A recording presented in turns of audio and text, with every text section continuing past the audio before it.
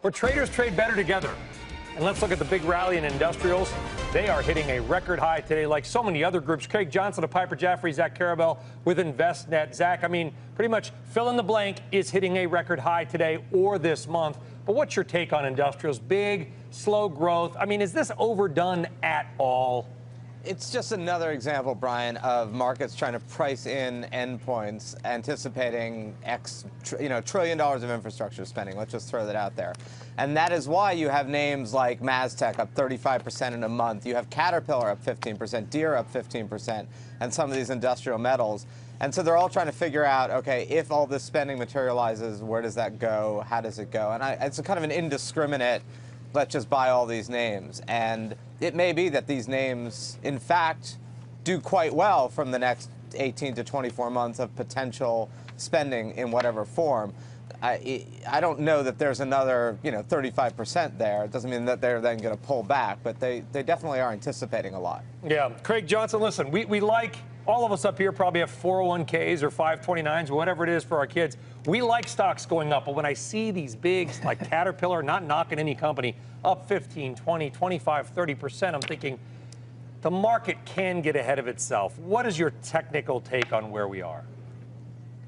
Well, Brian, let's take a look at the XLI chart I brought in. It's a five-year chart. When I go back and I look at this chart, I can see two double bottoms that got put in on this chart uh, over the last uh, year or two. I'd also point out that you've had a little bit of a short-term pullback.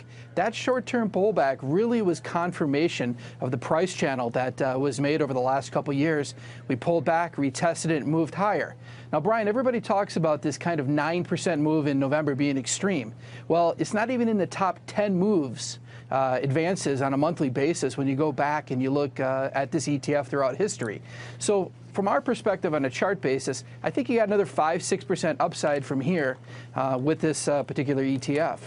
Okay. Look, I, Go yeah, ahead. Last I word I, quickly, I, Zach. Yeah, I would just say, look, this is driven by an expectation of a macro event. So whatever the technicals are, just be careful of this was a momentum trade based on an anticipation of something that hasn't yet happened. I like a lot of these names, but be careful. All right, Zach and Craig, both good points. Craig a little more optimistic on the chart side. Zach says be careful. Thank you both. For more Trading Nation, you can head to our website, tradingnation.cnbc.com. I'm often asked what percentage of a portfolio should be traded. Well, regardless of how small or large your trades are, the key is to adhere to a trading plan in building and implementing your portfolio. This can help a trader make difficult but not hasty decisions. Plan your trade, then trade your plan. Hey there, thanks for checking out CNBC on YouTube. Be sure to subscribe to stay up to date on all of the day's biggest stories. You can also click on any of the videos around me to watch the latest from CNBC. Thanks for watching.